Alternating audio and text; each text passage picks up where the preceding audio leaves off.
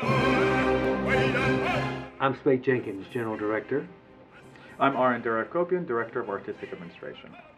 It's always fun to talk about casting uh, in an opera like Rigoletto because it's one that everybody has done. And so you have to just try to find among a lot of people who've done it somebody that really is the is you think is right for the time. And I know Marco Vratogna uh, as Rigoletto, I felt when I first heard him, I felt would be ideal for the part.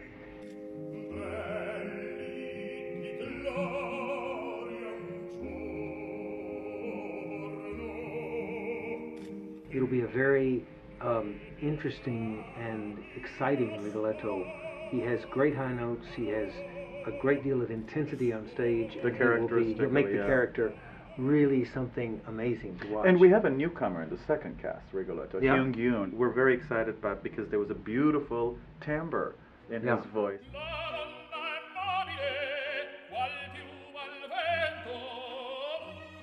the Duke is not somebody an audience likes. Yeah, he's not the good guy at all. He's not. he's, he's he's not the, good bad guy. but on the other hand, even though they say a lot of tenors don't want to do it, I've never asked a tenor to do the Duke who who wasn't eager to do it because in La Donna Mobile you've got the, the one of the most famous tunes ever composed, and uh, I I wanted to have Francesco Demuro do this for a long time.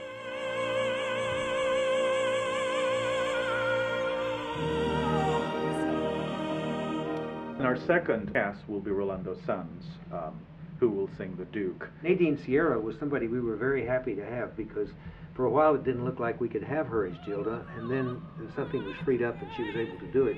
She has made an enormous success with this role.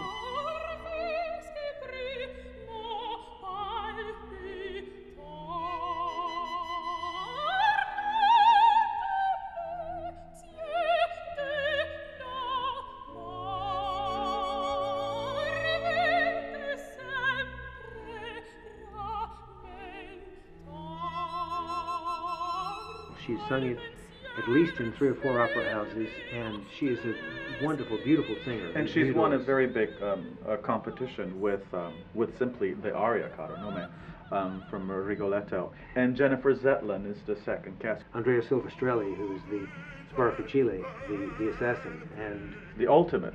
the ultimate- yeah, he's a big, big, tall man, ferocious, and will be really wonderful, I think, as as the assassin.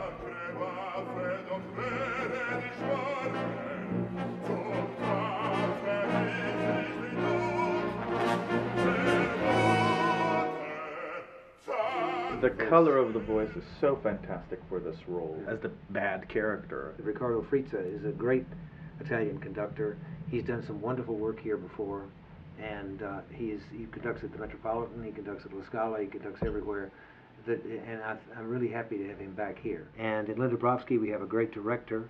So so far we have a fantastic cast. We look forward. we're we're, we're, We're as looking forward. excited as the audience to see how it all turns out. It should be quite beautiful with beautiful music.